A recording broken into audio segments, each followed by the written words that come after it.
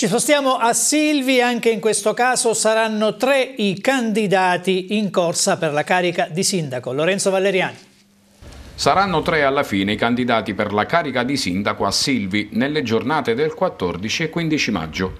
Andrea Scordella, primo cittadino uscente, sarà appoggiato nuovamente da una coalizione di centrodestra per un totale di 5 liste e 80 candidati consiglieri.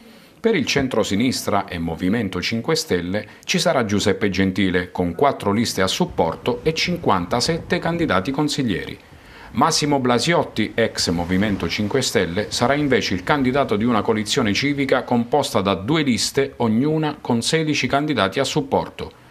Nelle ultime ore si paventava la presentazione di una quarta lista a sorpresa, ma alla fine i pronostici sugli effettivi protagonisti di questa tornata elettorale sono stati rispettati. Intanto, nella sala consigliare del comune costiero c'è già chi festeggia senza attendere l'esito delle urne.